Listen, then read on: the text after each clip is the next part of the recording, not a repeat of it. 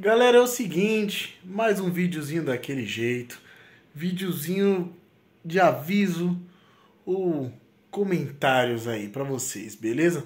Galera, tô aqui de noite bem de boa na minha casa, bem tranquilo, entendeu? Agora são quase 10 horas da noite, eu recebo uma mensagem assim, te pago 200 reais pra ir de tal lugar pra tal lugar.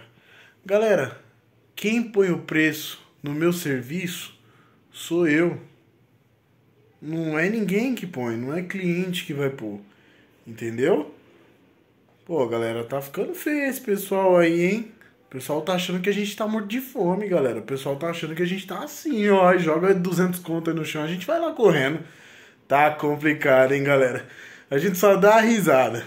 É isso aí, videozinho rápido para vocês. Me contem nos comentários aí se acontece muito com vocês, suas aí. Beleza? É nóis.